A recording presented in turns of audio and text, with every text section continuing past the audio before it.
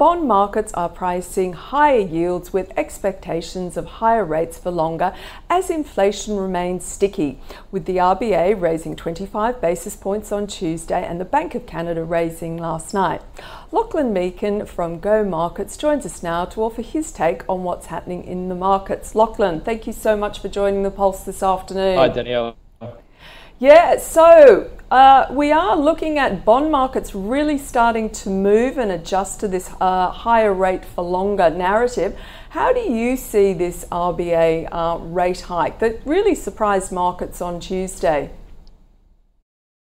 Yeah, another one. I mean, um, after after the last meeting, I'm surprised the markets got wrong-footed uh, again like this. Um, um, there was a lot of reasons I think they would hike. I mean, that, that high CPI figure, um, housing markets seem to have bottomed out and even rebounding in some places. And they've been pretty um, explicit with uh, how resolute they are in getting that inflation figure down. So uh, I, I, think that um, a lot of people weren't surprised by it. Uh, it seemed to make sense. Um, the Aussie dollar reaction is, is, as you'd expect with most of the market being offside. We did see a, a pretty sharp rally in the Aussie versus the US. We're testing uh, above that 67 level. A little bit of a pullback yesterday on some of that weak data of the GDP, the Chinese data, but uh, we re- that rally again today. So Aussie dollar is still enjoying that. There's certainly a, a, a tailwind from the RBA.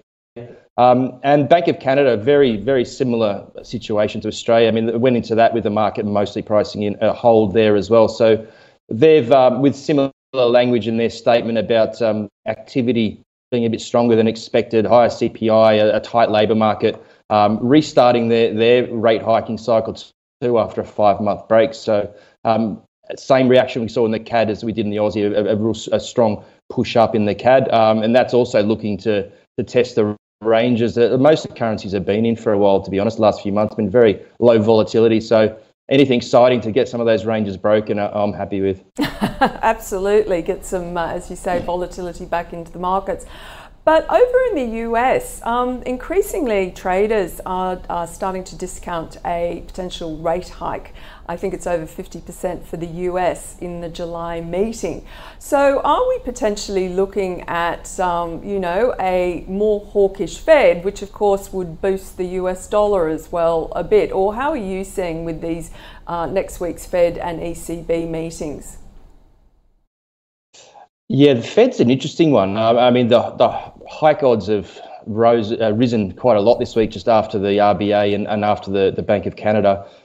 I think it was just over 30% for a hike next week, but almost fully priced in for a 25 to be done by the end of July. So, um, as far as next week goes, I'm, I'm thinking it's 50 50. A lot will depend on the CPI and PPI out early in the week. I think that's probably what will um, move the needle on, on that. If I had bet, I will, I'm, I'll say they are going to hike. I think that um, the central banks have been a bit underestimated in how determined they are. It seems to get inflation under control. But if they do hike next week, I, I think that might be the last one. They've, they've got their break in August. They'll, they'll, they can sit back and wait till September, see how it goes. Um, US dollar obviously will get a, a boost from that, but um, I'm not real bullish on the US dollar going forward past next week. I think um, it, it, got a real tailwind off this debt ceiling uh, shenanigans that went on, uh, and you saw that against all of its peers. It outperformed for that few weeks, and since that's been settled, um,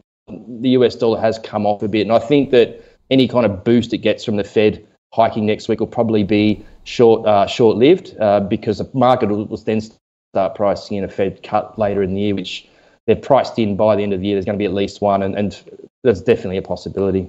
Yeah, interesting, isn't it? Because one would think uh, they might have to start breaking a few things to make them cut. But nevertheless, what about the ECB? Yeah. Because you know what's happening over there. You're not. They don't have a lot of economic growth. Um, I think even Germany's in recession.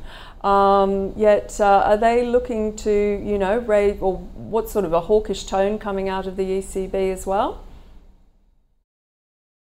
Yeah, I mean, the market's pretty much pricing in it's a done deal for 25 next week, which is more than likely what the case will be. But um, macro data since their last meetings really given a lot more to the doves and the hawks uh, since then. As you said, the, the, the German recession, um, a real slowdown in, in some indicators in confidence in, in inflation. Um, so it'll be interesting to see how how hawkish or not they are in that statement. I think the rate hikes are a done deal.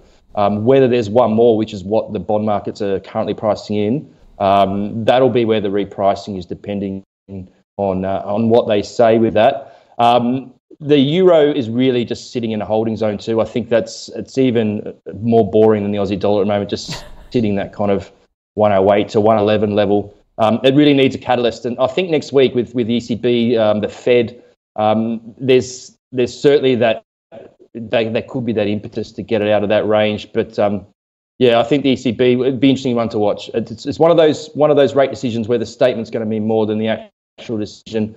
Um, and, and, just next week as well, I, I, shouldn't forget to mention the, the Bank of Japan. This is a, a bit of a dark horse. They've um, you look at the dollar yen sitting at that 140 level, which is that critical level where we've seen a lot of selling, um, hoping that the Bank of Japan comes in and rescues the the shorts there. But uh, there is a chance they may fiddle with their yield curve control. That's on Friday, so certainly one to watch there as well. I mean, Bank of Japan meetings normally don't do too much, but what we saw December last year, they, they do have the possibility to to surprise. So yes, an interesting week next week. I'm looking forward to a bit of volatility, to be honest. A bit of volatility. What about um, you know the China yuan? It's a bit of a out of field question, but China's had such a spluttery uh, reopening. It hasn't been as strong, and you are seeing um, some stimulus starting to go through the banks there. They've been asked or they've been lowering their deposit rates, I believe, in the last couple of days to try and get the consumer out to do more.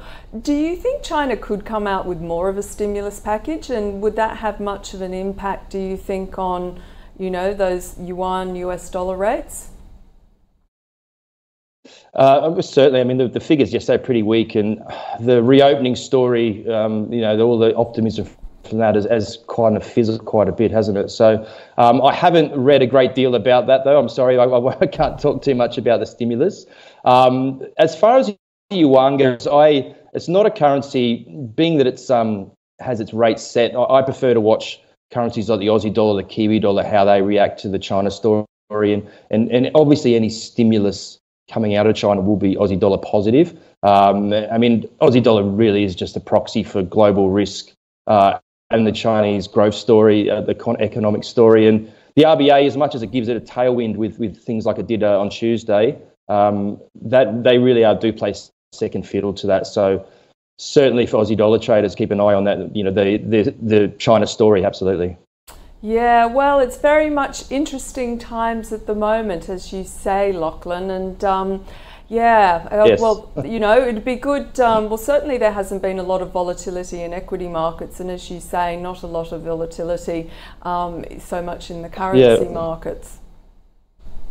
Well, you see, um, I mean, you see where the VIX is for the equity markets. It's it's crazily low, and there is another index the CME puts out, the the CVOL FX uh, index for volatility, and that's at levels that were last seen before the Ukraine invasion. So, um, the one thing, I guess, one class of traders that does benefit from that low volatility is the carry trade, which is um, obviously buying the higher higher yielding currency and selling the lower yielding without that risk of too much uh, movement of the actual exchange rate. So that's definitely also been a, a real headwind for the for the yen. Um, uh, also, an interesting one as well, if anyone's interested in some of the exotics, is the Mexican pesos being an absolutely gangbusters on that carry trade le- recently. So, if you've got a higher t- risk tolerance, have a look at that one. so, what are they doing? They're, they're basically um, borrowing in Mexican pesos, are they? And and is, is that how it works? I'm not great on carry trades, I have to say, with an equities background. Um, no, the other way around with the Mexican peso. So, you're borrowing US dollars and buying Mexican pesos, which are yielding uh, 11.5%. Uh, they've, they've risen their rates 15 times in a row. So, um, in a in a high volatility environment, that's it's a risky trade because the exchange rate may go against you more than what you're earning in the interest. Um, but when there's a lot of really low volatility, that's when you really see these carry traders come out. And if anyone has a look at that US dollar Mexican chart, they'll see what I'm talking about.